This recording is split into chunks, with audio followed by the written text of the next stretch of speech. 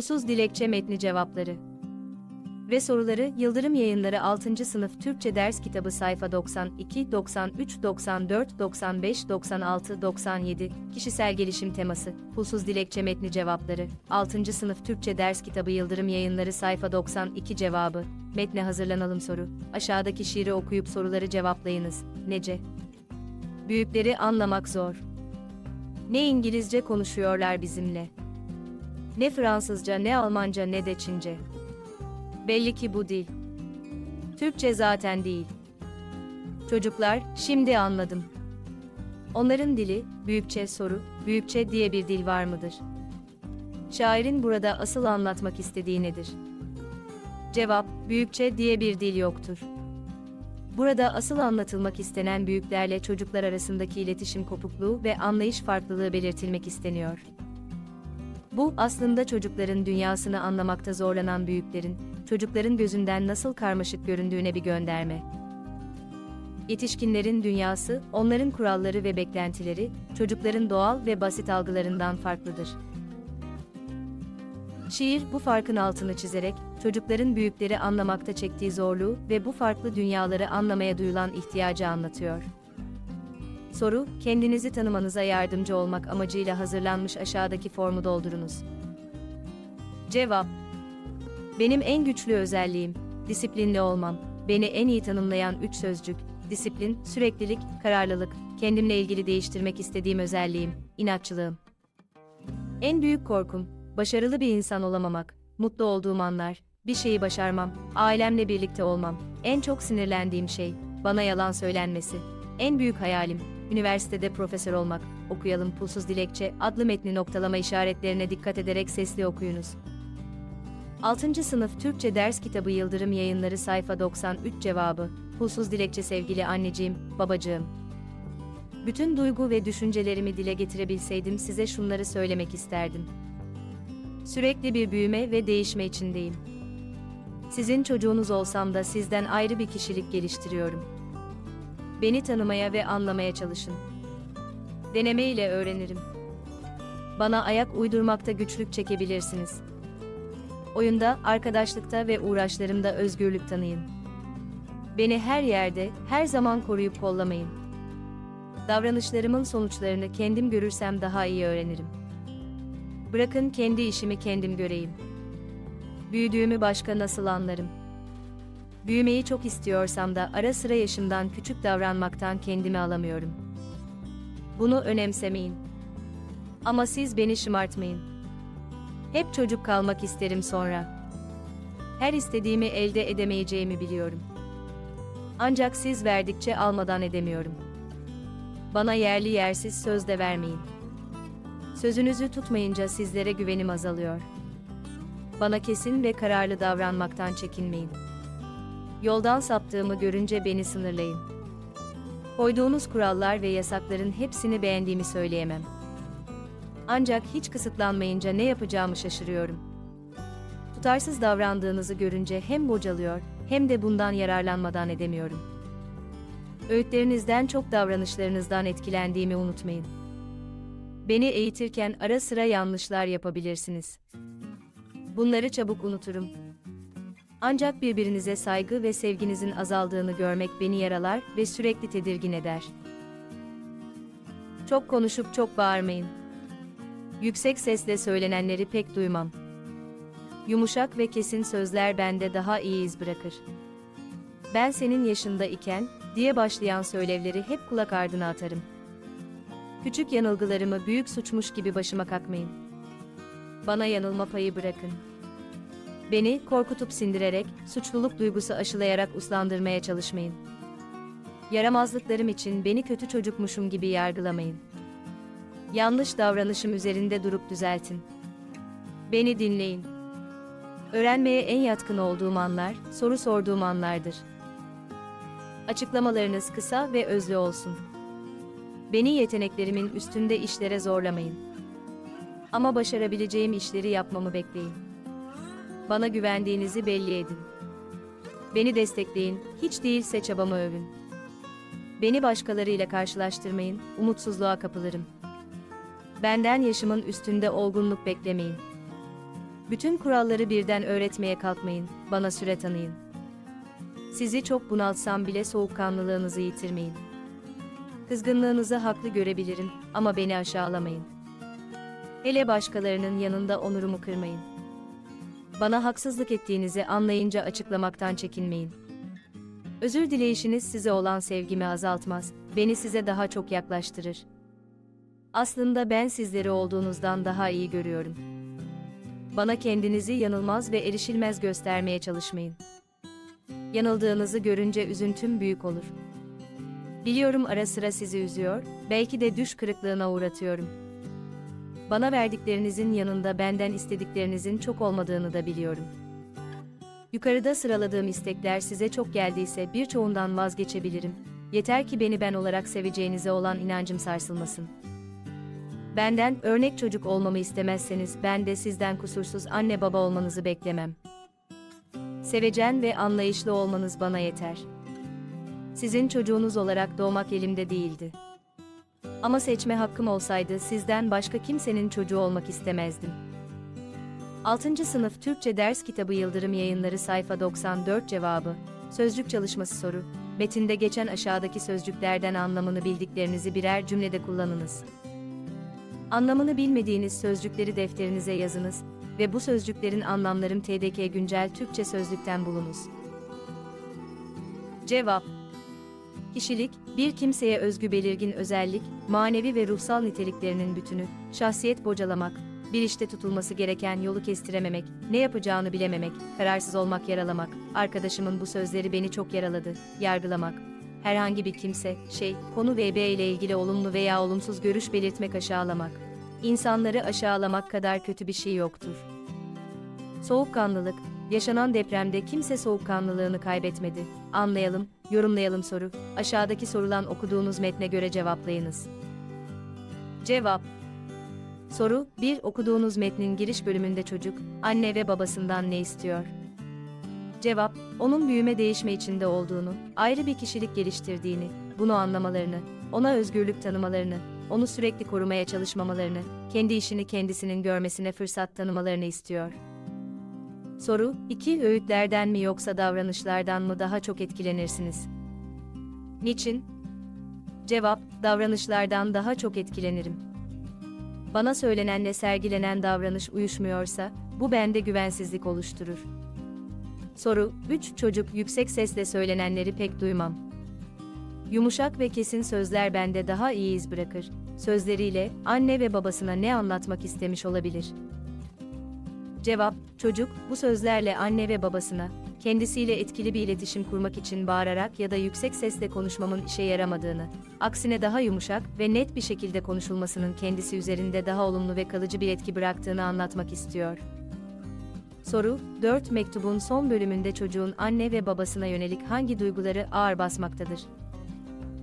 Cevap bu bölümde çocuğun anne ve babasına duyduğu sonsuz sevgi kendini göstermektedir. Bu sözler, bir çocuğun anne ve babasına olan derin sevgi ve minnettarlığını ifade ediyor. Çocuk, dünyaya hangi ailede doğacağının kendi kontrolünde olmadığını vurgulasa da eğer bir seçme hakkı olsaydı, yine aynı anne ve babayı seçmek isteyeceğini söylüyor. Bu çocuğun ailesiyle olan bağını, onlara duyduğu sevgiyi ve kendini onlarla güvende ve mutlu hissettiğini anlatan güçlü bir duygusal ifadedir. Soru 5. Mektubu yazan çocuğun annesi ve babası siz olsaydınız ona neler söylerdiniz? Cevap: Sen bizim biricik çocuğumuzsun. Bazen seni çok sınırladığımızı, boğduğumuzu düşünüyorsun ama emin ol ki bunun nedeni senin iyiliğini düşünmemizdir. Sen yeteneklerinin ve kişiliğinin farkında olan çok özel bir çocuksun. Kendinle ilgili alacağın kararlara saygı duyuyoruz. Seni çok seviyoruz. İyi ki bizim çocuğumuzsun. Soru, büyüklerinizden beklentilerinizin neler olduğunu yazınız. Cevap, büyüklerimden beklentim öncelikle beni ben olarak kabul edip sevmeleri ve her şartta beni desteklemeleridir. Onlardan duygularımı anlamalarını ve bana karşı sabırlı olmalarını isterim. Bana adil ve eşit davranmalarını beklerim. Beni laf olsun diye değil gerçekten dinlemelerini ve beni ciddiye almalarını isterim. Ve tabii ki bana güvenmelerini isterim. 6. Sınıf Türkçe Ders Kitabı Yıldırım Yayınları Sayfa 95 Cevabı Soru Metinde geçen aşağıdaki cümlede altı çizili sözcük geçiş ve bağlantı ifadesidir. Bu ifadenin cümlenin anlamına olan katkısını değerlendiriniz. Koyduğunuz kurallar ve yasakların hepsini beğendiğimi söyleyemem. Ancak hiç kısıtlanmayınca ne yapacağımı şaşırıyorum. Cevap Ancak sözcüğü karşıtlık bildiren bir bağlantı ifadesidir. Soru, aşağıdaki cümleleri fakat, lakin, ama, buna rağmen, bununla birlikte ifadelerinden uygun olanlarını kullanarak örnekteki gibi tek cümle haline getiriniz ve noktalı yerlere yazınız. Cevap Soru, aşağıdaki özelliklerden hangileri okuduğunuz metinde görülmektedir? Bu özelliklerin karşısındaki kutucuğa işareti koyunuz. Cevap Soru, belirlediğiniz özelliklerden yararlanarak okuduğunuz metnin türünü tahmin ediniz ve ilgili kutucuğu işaretleyiniz. Cevap Hikaye Masal Mektup, soru, tabloda verilenlerin hepsi mektup türünde bulunan özelliklerdir. Buna göre işaretlemediğiniz özelliklerin okuduğunuz metinde bulunmama sebebi ne olabilir? Cevap, çünkü bu gerçek bir mektup değil bir yazarın çocukların anne babalarından isteyebileceği şeyleri dile getirdiği hayali bir mektuptur. 6. Sınıf Türkçe Ders Kitabı Yıldırım Yayınları Sayfa 96 Cevabı, soru, sizce okuduğunuz metin hangi amaçlarla kaleme alınmıştır? Yazınız. Cevap, Bence bu mektup, yazarın anne babaların, çocuklarının duygu ve düşüncelerini daha iyi anlayabilmeleri amacıyla yazılmıştır. Çocukların her ne kadar anne babaların evlatlar olsa da ayrı birer kişilik, birer birey oldukları konusunda farkındalık oluşturmak amaçlanmıştır. Söz varlığımız soru, açıklamalarınız kısa ve özlü olsun. Cümlesinde geçen kısa sözcüğü aşağıdaki cümlelerin hangisinde aynı anlamda kullanılmıştır? Cevap Soru, ayak uydurmak, iz bırakmak, yoldan sapmak deyimlerini aşağıdaki uygun görsellerin altına yazınız. Daha sonra açıkta kalan deyimin anlamını bulunuz ve bu deyimi bir cümlede kullanınız. Cevap 6. Sınıf Türkçe Ders Kitabı Yıldırım Yayınları Sayfa 97 Cevabı Konuşalım, anlatalım soru. Sizce bir çocuğun eğitiminde aile ve okul mu yoksa toplumsal çevre mi daha etkilidir? Arkadaşlarınızı kendi düşüncenize katılmaları için ikna etmeye hazırsanız düşüncenizi savunmaya başlayabilirsiniz. Konuşurken uygun geçiş ve bağlantı ifadelerini ama fakat ancak lakin bununla birlikte ve buna rağmen kullanmaya dikkat ediniz. Cevap Bence bir çocuğun eğitiminde hem aile ve okul hem de toplumsal çevre önemli bir rol oynar ancak aile ve okul daha belirleyici bir etkiye sahiptir. Şöyle ki çocuğun temel karakteri ve değerleri doğrudan ailesinden gelir. Aile çocuğa sevgi, güven, sorumluluk gibi temel duyguları aşılayan ilk yer olduğu için çocuk dünyayı anlamaya başladığında bu değerler üzerine bir kişilik inşa eder. Okul ise çocuğun bilgi ve beceri kazanmasında, sosyal kuralları öğrenmesinde önemli bir etkendir. Öğretmenler ve okul ortamı, çocuğun düşünme becerilerini geliştirmesine ve toplumda nasıl yer alacağını öğrenmesine yardımcı olur. Buna rağmen, toplumsal çevrenin de çocuğun sosyal gelişimi üzerinde kayda değer bir etkisi vardır. Arkadaş çevresi ve toplumdan alınan kültürel değerler, çocuğun okul ve ailede öğrendiklerini pekiştirebilir veya bazen bu değerlerle çelişebilir. Ancak toplumsal çevrenin etkisi, aile ve okulun verdiği temel eğitim ve değerlerin üzerine inşa edilir. Sonuç olarak, aile ve okulun verdiği eğitimin temel olduğu, toplumsal çevrenin ise bu eğitimi şekillendirdiği söylenebilir. Fakat aile ve okul sağlam bir temel oluşturmadığında, toplumsal çevrenin etkisi olumsuz olabilir. Bu yüzden bir çocuğun eğitiminde aile ve okulun önemi göz ardı edilmemeli, bu iki yapı çocuğun gelişiminin temel direkleri olarak görülmelidir. Düşünelim, yazalım soru. Pulsuz Dilekçe adlı metinde anne ve babasına seslenen çocuğa cevap olarak defterinize bir mektup yazınız. Mektubu yazarken aşağıdaki aşamaları takip ediniz. Mektubunuzu yazarken duygu ve düşüncelerinizi açık bir dille ifade etmeye, uygun geçiş ve bağlantı ifadelerini kullanmaya, yazınızı uygun atasözleri, deyimler veya özdeyişlerle zenginleştirmeye, yazım ve noktalama kurallarına uymaya özen gösteriniz. Kağıdın sağ üst kısmında mektubu yazdığınız yeri ve tarihi belirtiniz. Seslenme ifadesini paragraf başından başlatınız ve her bir sözcüğün ilk harfini büyük yazınız. Giriş bölümünde mektubu yazma amacınızı belirtiniz. Gelişme bölümünde mektupta iletmek istediklerinizi anlatınız. Sonuç bölümünde selam ve iyi dileklere yer veriniz. Mektubun sağ alt tarafına adınızı, soyadınızı yazınız ve imzanızı atınız. Cevap Sevgili çocuğumuz, mektubunu büyük bir dikkat ve sevgiyle okuduk. Duygu ve düşüncelerini bizlere bu kadar içtenlikle iletmen bizi hem duygulandırdı hem de düşündürdü.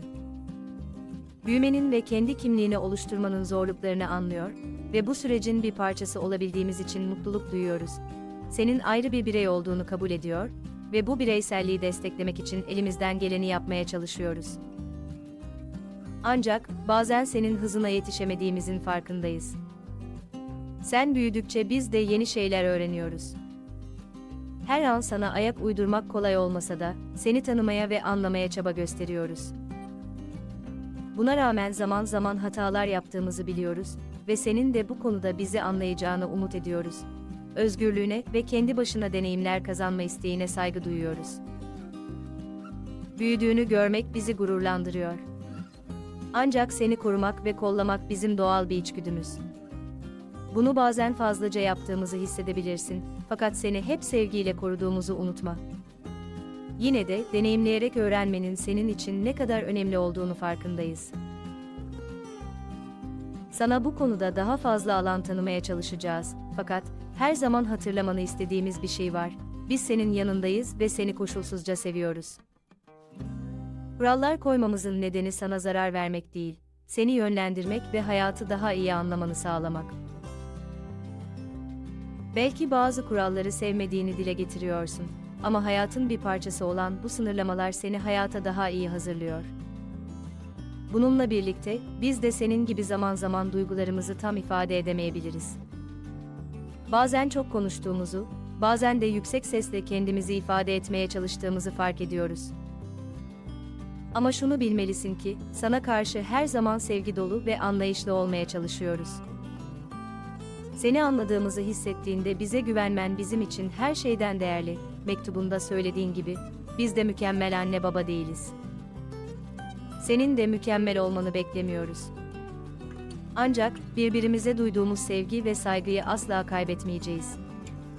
Yanlışlarımız olduğunda bunu kabul etmekten çekinmeyeceğiz ve birlikte daha iyi olmanın yollarını arayacağız. Unutma, senin her adımında yanındayız ve her zaman seni destekliyoruz.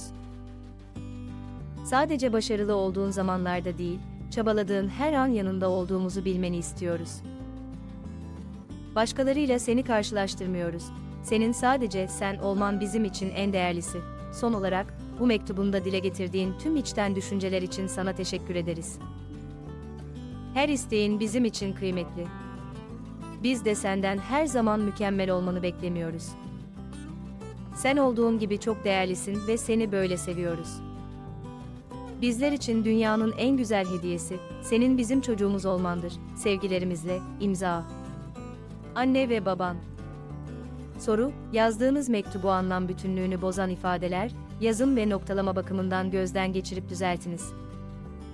Daha sonra mektuplarınızı sınıf veya okul panosunda sergileyerek arkadaşlarınızla paylaşınız. Cevap, mektubun düzeltilmiş hali. Sevgili çocuğumuz, mektubunu büyük bir dikkat ve sevgiyle okuduk. Duygu ve düşüncelerini bizlere bu kadar içtenlikle iletmen bizi hem duygulandırdı hem de düşündürdü.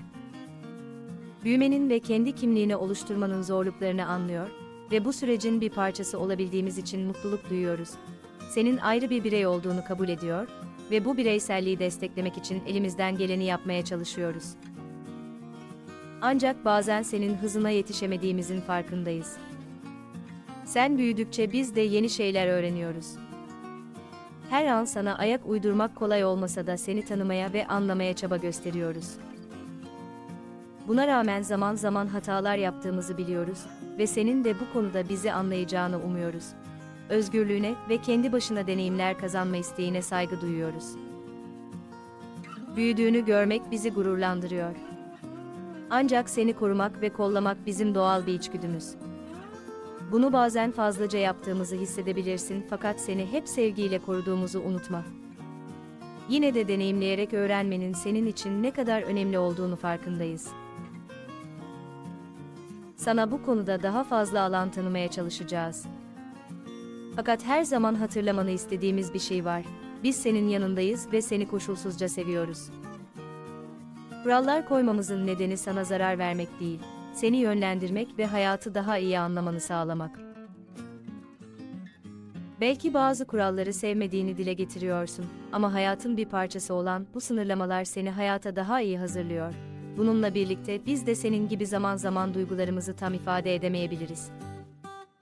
Bazen çok konuştuğumuzu, bazen de yüksek sesle kendimizi ifade etmeye çalıştığımızı fark ediyoruz. Ama şunu bilmelisin ki sana karşı her zaman sevgi dolu ve anlayışlı olmaya çalışıyoruz. Seni anladığımızı hissettiğinde bize güvenmen bizim için her şeyden değerli. Mektubunda söylediğin gibi, biz de mükemmel anne baba değiliz. Senin de mükemmel olmanı beklemiyoruz. Ancak birbirimize duyduğumuz sevgi ve saygıyı asla kaybetmeyeceğiz. Yanlışlarımız olduğunda bunu kabul etmekten çekinmeyeceğiz ve birlikte daha iyi olmanın yollarını arayacağız. Unutma, senin her adımında yanındayız ve her zaman seni destekliyoruz. Sadece başarılı olduğun zamanlarda değil, çabaladığın her an yanında olduğumuzu bilmeni istiyoruz. Başkalarıyla seni karşılaştırmıyoruz. Senin sadece sen olman bizim için en değerlisi. Son olarak, bu mektubunda dile getirdiğin tüm içten düşünceler için sana teşekkür ederiz. Her isteğin bizim için kıymetli. Biz de senden her zaman mükemmel olmanı beklemiyoruz. Sen olduğun gibi çok değerlisin ve seni böyle seviyoruz. Bizler için dünyanın en güzel hediyesi, senin bizim çocuğumuz olmandır. Sevgilerimizle, soru, elektronik posta, e-posta adresiniz var mı? Bu adresinizi nerelerde kullanıyorsunuz? Çevrenizde kimler elektronik posta aracılığıyla haberleşiyorlar? Bu soruları cevaplayarak elektronik ortamda yazışmak için gerekli olanlar, e-posta adresi sahibi olmak, e-posta göndereceğiniz kişinin e-posta adresini doğru yazmak VB hakkında neler bildiğinizi söyleyiniz. Sınıfınızda e-posta adresi almayı bilmeyen arkadaşlarınız varsa, onlara e-posta adresi almaları konusunda yardımcı olunuz. Cevap: Evet, elektronik posta adresim var. Bu adresimi genellikle okulla ilgili duyuruları almak, ödev ve projeler hakkında bilgi paylaşmak ya da internetteki bazı hesaplara kayıt olmak gibi amaçlarla kullanıyorum. E-posta adresi alırken ve e-posta göndereceğimiz kişinin e-posta adresini yazarken Türkçe karakterler kullanmamamız gerekir. Ö yumuşak G, Ç gibi mesela. E-posta gönderirken konu kısmına konuyu doğru bir şekilde yazmak karşı taraf için çok önemlidir. Konu yazılmayan e-postalar gözden kaçabilir. Buna dikkat etmeliyiz. Genel ağ bağlantısı bulunan bilgisayar, akıllı telefon, tablet ve B araçlarla elektronik ortamda arkadaşlarınız ve yakınlarınızla yazışabilirsiniz. Elektronik ortamdaki yazışmalarınızda yazım ve noktalama kurallarına dikkat ediniz. Noktalama işaretlerinden sonra bir harf kadar boşluk bırakınız. 6. Sınıf Türkçe Ders Kitabı Yıldırım Yayınları Kişisel Gelişim Teması Sayfa 92, 93, 94, 95, 96, 97 Pulsuz Dilekçe Metni Etkinlik Soruları ve Cevapları ile ilgili aşağıda bulunan emojileri kullanarak duygularınızı belirtebilir, aynı zamanda sosyal medyada paylaşarak bizlere katkıda bulunabilirsiniz.